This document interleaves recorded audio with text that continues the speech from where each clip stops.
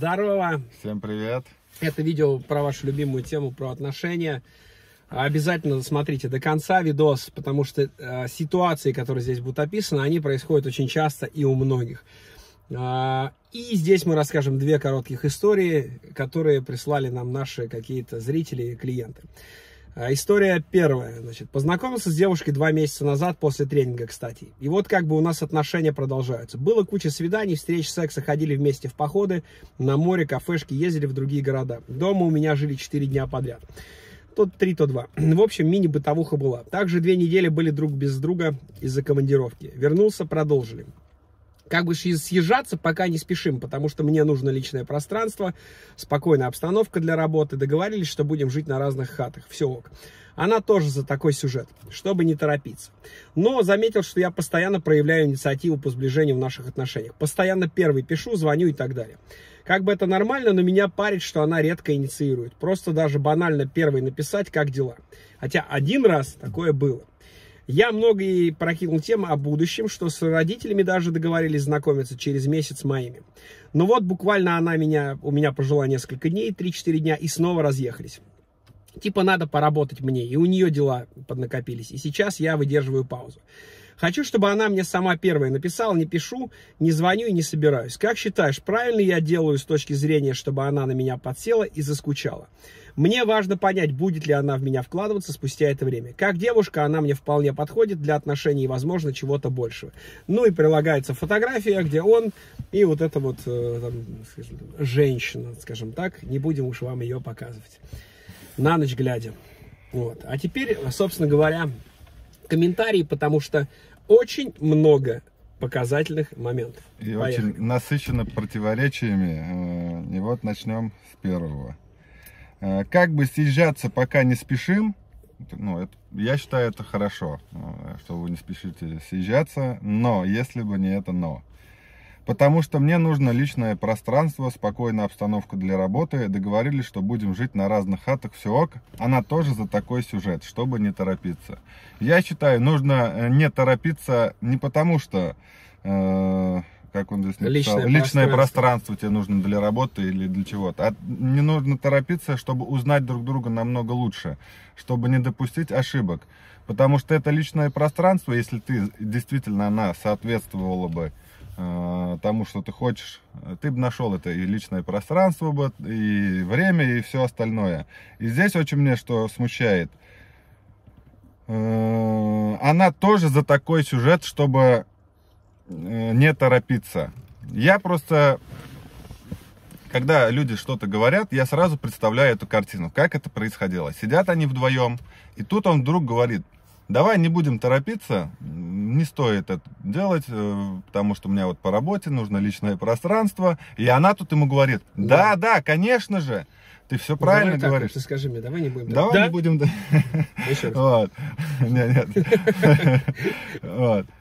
Почему для меня это крайне странно? Вообще, зачем говорить человеку, что не нужно торопиться? Естественно, когда вы ей это озвучиваете, она не будет говорить, что Нет, ты? давай Нет, давай, давай будем торопиться. Вряд ли ж такое будет. Естественно, э, человек отреагировал так, как э, отреагировало бы большинство из э, женщин.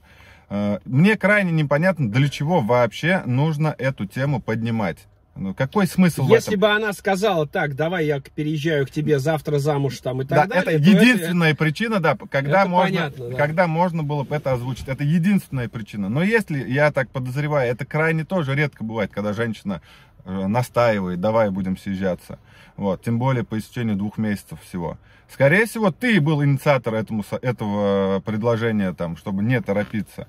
Но ты не подумал, что, а как она это может воспринять? Она же, ты же, в принципе, особо Может быть, не знаешь. она немножечко подобиделась или подрастроилась и сделала какие-то выводы, неутешительные относительно тебя. Mm. Если бы ты в принципе не поднимал эту тему, никаких выводов бы и не было, понимаешь? Я как? считаю, да, этот разговор нужно поднимать только при одном случае, ну, это со стороны мужчины, когда ты для себя четко решил, что все, я хочу уже, чтобы мы жили вместе. Вот тогда ты можешь сказать, все, мы вот там... Э, ты будем, мне нравишься, да, будем... я хочу, чтобы потенциально рассматривать тебя как свою жену, я хочу, чтобы мы когда-то жили вместе, но сейчас мы пока что немножечко должны не торопиться. Как-то так, наверное, да? Ну, хотя бы, да, в этом ключе. Идем дальше. Так, он вот решил не торопиться, и тут вот пишет, э, как бы это норм, что она не, иници... не инициирует э, сближение, там, что она не пишет, не звонит. Как бы это норм, но его это парит. Вот объясните, как это может быть нормальным, но меня это парит. Ну, как-то крайне непонятный этот момент. Я ей много тем э, закидывал на будущее, про будущее, э, что с родаками даже договорились знакомиться через месяц.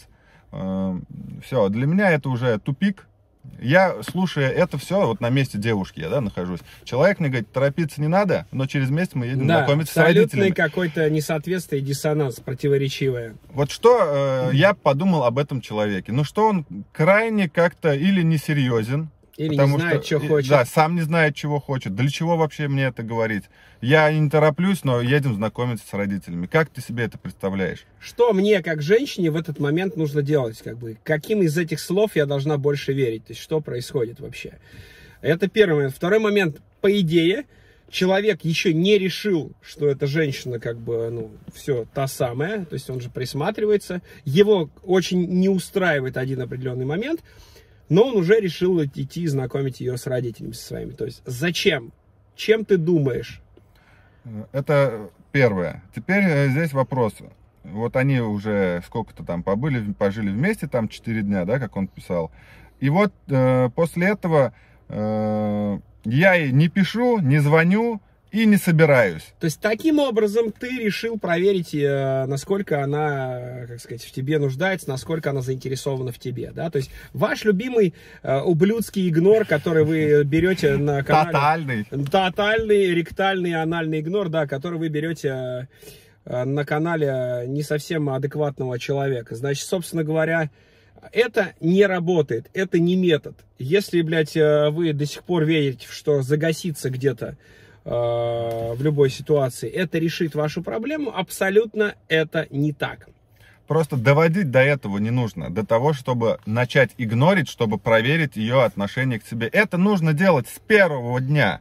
Ты должен, понятно, что многие, вот это самая большая ошибка, когда многие ориентируются на свои ощущения, как они относятся к ней.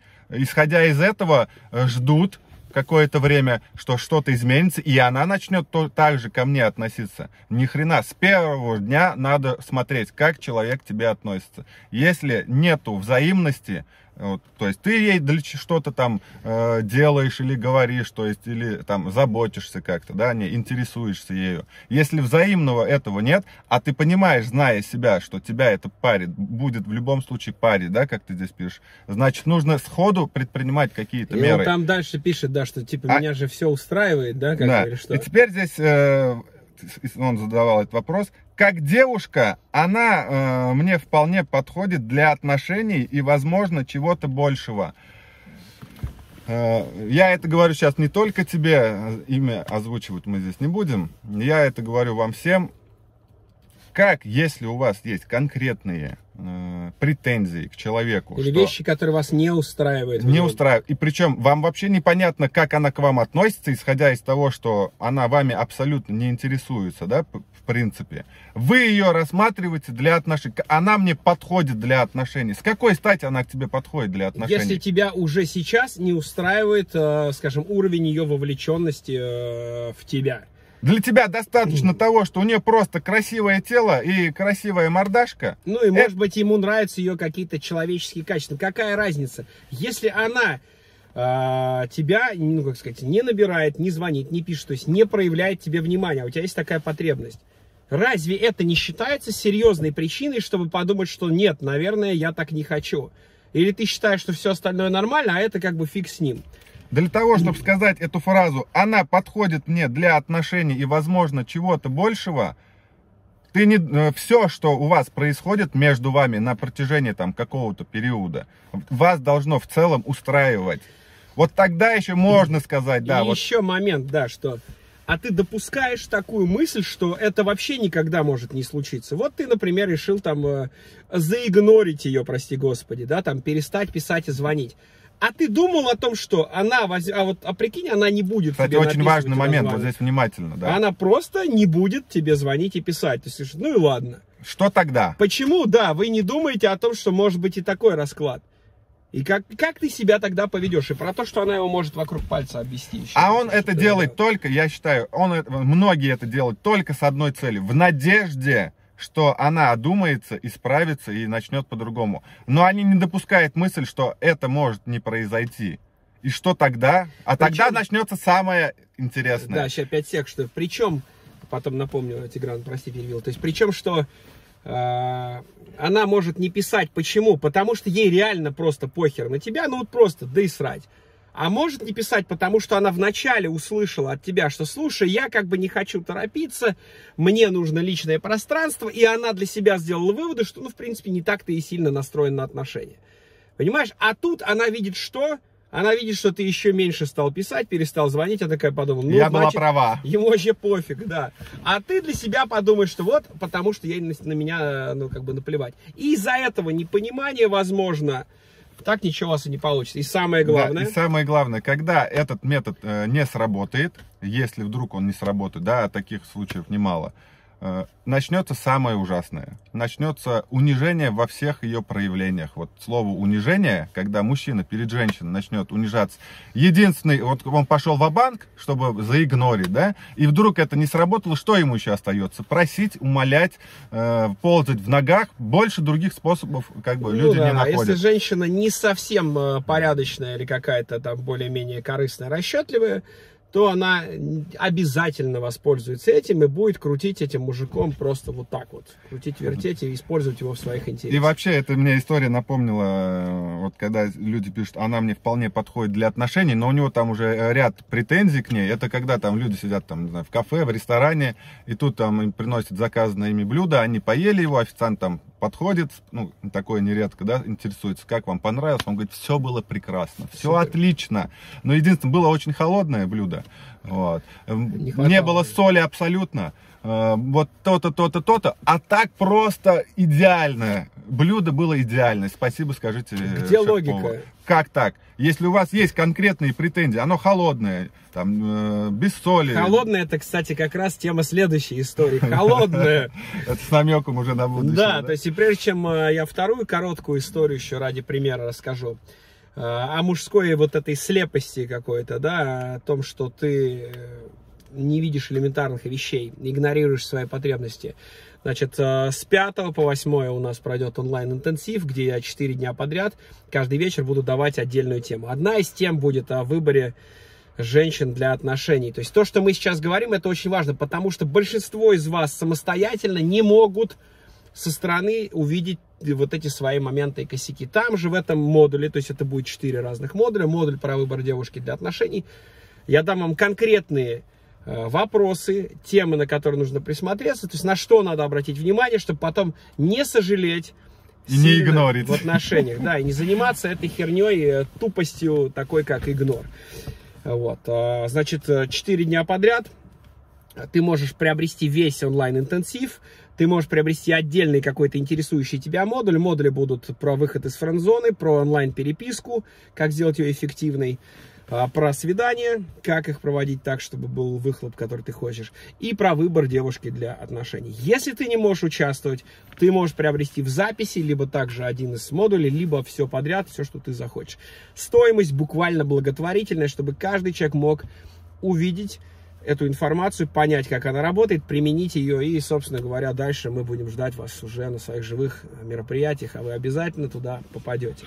Так вот, другой кейс – а совсем недавно один из наших зрителей, это в нашем инстаграм-разборе было, который, кстати, мы проводим каждый четверг э, в моей инсте, а, и вы можете задавать нам там вопросы. А, человек говорит, что он познакомился 7 месяцев назад уже с девушкой, все классно, все здорово, все круто, но есть такой момент, она эмоционально холодная. Вот как раз про слово холодное. Вот. И она его этим сильно не устраивает. У него есть такая потребность. Мужчины разные на самом деле. Но я его понимаю, потому что отчасти я когда-то э, был таким же. У него есть такая потребность в некой поддержке со стороны женщины, чтобы она им восхищалась, чтобы она его там боготворила, чтобы она там говорила спасибо, там, благодарила, говорила, какой ты у меня классный, то есть, чтобы она его обнимала, целовала, то есть, нормальные вот эти вот какие-то проявления любви. Ну, кому-то этого хватает, кому-то не хватает. И вот этого с этой женщиной с самого начала не было. Чтобы, давай, чтобы Да. понимали, насколько это эмоционально холодное. То есть они там сколько-то не видятся. Какое-то дол- долгое ну, время. Ну да, и тут, э, когда они встречаются, она такая, вот смотрит на него с таким каменным лицом, говорит, я соскучилась. Просто вот так, я соскучилась. Я, я соскучилась. То есть человек э, абсолютно не проявляет никаких эмоций. В принципе, по жизни так. Самое интересное, что она в этом не виновата. Она такой выросла, она такой стала. Возможно, что это даже ее какая-то проблема, да? И здесь точно никто ее не обвиняет, потому что, ну, вот такая она. И что важно, она понимает это. У них был на Да. эту тему разговор, они пытались там э, это исправить. А Они сидели, размышляли, он пытался ей помочь, как э, мне тебе помочь и так далее. А, но, к сожалению, некоторые вещи либо очень долго и трудно изменяемые, это потребует времени. Если вообще изменяемо. А у него есть такая потребность, и она есть сейчас. Она была еще вчера, и она будет завтра. То есть потребность, которая не закрывается. И это приведет к тому, что в какой-то момент он встретит какую-нибудь девушку случайно мимо идущую, что-то там ей поможет, не знаю, там какой-то пакет у нее там порвется, он скажет, давайте я вам соберу, там помогу. Она скажет, вау, блин, какой вы классный, то есть как спасибо, что вы мне помогли. То есть она даст ему этих эмоций, которым ему здесь не хватает. И эти отношения еще более напрягутся. То есть, но прикол в чем, что когда мы спрашивали, она изменилась или она была такой с самого начала? Он сказал, что она такая была с самого начала. С небольшой разницей, может. Вначале чуть-чуть, может быть, там э, Но более он эмоционально. же там, как он сказал, он испытал там какой-то с ней эйфорию. А, да, и когда он говорит, я, говорит, впервые в жизни, а человеку под 40, там, он, ну, цифру он не звал, сказал под 40. Он говорит, впервые в жизни, когда, говорит, Вова, ты говоришь, о же- что женщина может э, дать мужчине действительно вот это, Энергию, наполнить настолько, да. Он говорит, я впервые в жизни это испытал. Ни с одной женщиной у меня, говорит, такого не было. Я, говорит, впервые в жизни это испытал. Это мне интересно, испытал именно с женщиной, которая эмоционально холодная. Вот Ну, то есть, чем-то она его... Ну, я думаю, знаешь, что там было? То есть, если уж прям копаться, Нет, то- человеческие качества, возможно, действительно она там как человек хороший и так далее, но черствый. И он сам рассказал, Вопрос что в его потребности. у нее мать там э, примерно, она росла в какой-то такой семье, где это крайне ее там Ну какая мораль, смотрите, то есть когда он нам позвонил туда в прямой эфир в Инстаграме, он уже четко понимал, что он хочет. И по нему это было видно, и потом он с этим согласился. Он хочет с ней расстаться, потому что это для него это весомая причина, для него это серьезная потребность, которая там не закрывается. Вот. Он уже все решил, но ему тяжело было это сделать, потому что, опять же, с самого начала вы закрываете глаза на какие-то важные для вас вещи. Вы думаете, ладно, оно же все само по себе наладится. Вот, да. Нет. Да, он все решил, но, смотри, прожито какое-то количество времени вместе, какие-то эмоции, что-то еще. Плюс ключевое, она признает, что есть такая проблема. А ему же еще и жалко. Если бы она сказала, нет, я нормальная, там, иди ты в задницу. Нет, он говорит, блин, да, есть такое. Я не знаю, что с этим делать. Ему еще больше ее жалко. И получается, к чему все привело, как это часто бывает в ваших отношениях? К тому, что вы понимаете, что не хотите дальше продолжать отношения с этой женщиной, но и уйти от нее не можете, потому что чувство вины, чувство долга, та-та-та. А потом вы задаете вопрос, а как безболезненно расстаться с девушкой? Вот Да. начинается такая херня. Когда на одном плече сидит ангел, на другом бес, и вот этот говорит, давай, вали оттуда. А этот говорит, да нет, ты что, она такая хорошая. Э, И почему, собственно говоря, мы задали, предложили вам эти два примера, потому что они очень распространенные. Ваша слепость в начале, она просто иногда не знает каких-то пределов. И Я хочу призвать к тому, чтобы вы научились трезво выбирать себе женщину для отношений и оценивать эту женщину. Во-первых, вам надо для того, чтобы выбирать, создать этот выбор, вы должны беспрепятственно и легко начать знакомиться, ходить на свидание, то есть прийти к сексу уметь. Как бы это для вас не должно быть проблемой. Всему этому вы научитесь в моем онлайн-интенсиве, который будет с 5 по 8, и уже открылись продажи, вы уже можете бронировать место вживую, либо покупать запись. Вот. А, Самое главное, оценивайте ситуации трезво, оценивайте девушку трезво. Потому что потом, когда уйдет вот эта эйфория, вот эти эмоции, когда все немножечко поугаснет, успокоится, все эти косяки никуда не денутся. Они только вылезут и будут маячить у вас перед глазами. Это критически важно. Да, и к вопросу, когда с чего начинается отношения, отношения начинаются прежде всего вот здесь. Если здесь недостаточно, тогда будут проблемы, будут те тупиковые ситуации, которые сами себя мы загоняем. Поэтому прежде чем что-то начать, нужно быть к этому готовым. Итак, Поэтому ждем вас всех да. э, с 5 по онлайн-интенсиве. 8, по 8. четвертого уже закрываются продажи. 5 мы стартуем. Каждый вечер мы будем давать вам полезнейший контент по каждой из выше перечисленных тем. Все, до новых встреч, увидимся, Пока. пока.